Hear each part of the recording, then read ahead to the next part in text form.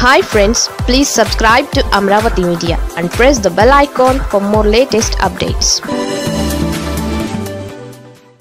Pawan కోసం రంగంలోకి Chandrababu. Tweet వెనుక ఉన్న ట్విస్ట్ ఇదే.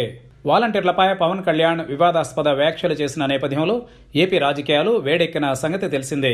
ఈ క్రమంలో పవన్పై కేసులు నమోదవ్వగా మహిళా కమిషన్ నోటీసులు కూడా ఇచ్చింది. అయినా కూడా పవన్ తగ్గట్లేదు. ఇందులో భాగంగా తాజాగా ఢిల్లీ నుంచి వచ్చిన అనంతరం మంగళగిరిలో కార్యకర్తల సమావేశంలో మరోసారి కీలక వ్యాఖ్యలు చేశారు.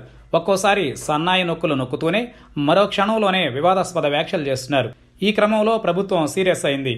పవన్ వాలంటీర్ల వ్యవస్థ మీద ఆధారాలు లేని ఆరోపణలు చేశారని ఆరోపిస్తూ ప్రభుత్వం ఆయనను ప్రాసిక్యూట్ చేసేందుకు అనుమతి ఇచ్చింది. ఇక కోర్టుకు కూడా వెళ్ళి మరీ పవన్ మీద పరువు నష్టం దావా కేసులో ఇరికించాలని వైసీపీ ప్రభుత్వం చూస్తోంది. ఈ సందర్భంగా చంద్రబాబు స్పందించారు. అవును పవన్ విషయంలో పరువు నష్టం కేసు పెట్టేందుకు వైసీపీ ప్రభుత్వం అనుమతించడాన్ని చంద్రబాబు ఆన్లైన్ వేదికగా తప్పుబట్టారు.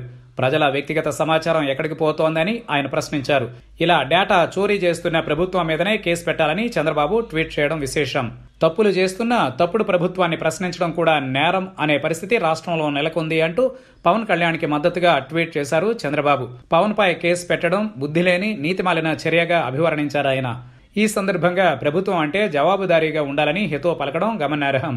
మరోవైపు వాలంటీర్ల మీద పవన్ చేస్తోన్న వివాదాస్పద ఆరోపణల వెనుక చంద్రబాబు ఉన్నారని ఈ వ్యవహారంలో తెర వెనుక ఆయనదే కీలక పాత్రని జగన్ ఆరోపించారు. ఈ వ్యవహారంలో స్క్రిప్ట్ రామోజీదే అయితే నిర్మాత చంద్రబాబు అని అన్నారు. ఇక మాటలు నటన పవన్ది అని జగన్ విమర్శించారు. ఆ వ్యాఖ్యలకు బలం చేకూర్చేలా తాజాగా చంద్రబాబు స్పందించారు.